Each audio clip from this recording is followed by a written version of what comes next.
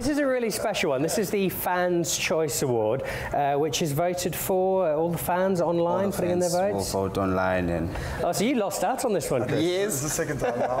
Um, yeah. I sensed a little bit of tension there. We, uh, we had to put the big cyclist in the middle, break down the fire. Well, congratulations, and it's it's a really special one to win, not just because it's a wonderful accolade and, and a wonderful award, but also because of what it comes with and what you get to do. Because there's a, a large check, and you get to send that in the direction of a really good cause. Yeah, so the check that I won will go to Be the Difference.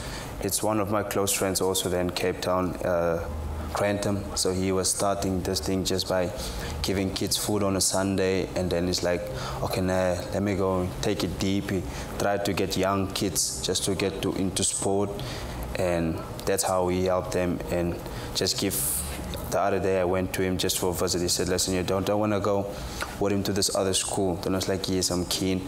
So we went there. 20 kids, we just wash their feet, give them new shoes, and just to see the reaction on their faces, it just means a lot to me. And that's why I told him, nah, I want to do something special also for your charity. And that's why I signed up and went for this thing. And what's a privilege for me just to win this thing. And it, I know it's not for me, but just to give back to Grantham and not just to him, to the kids.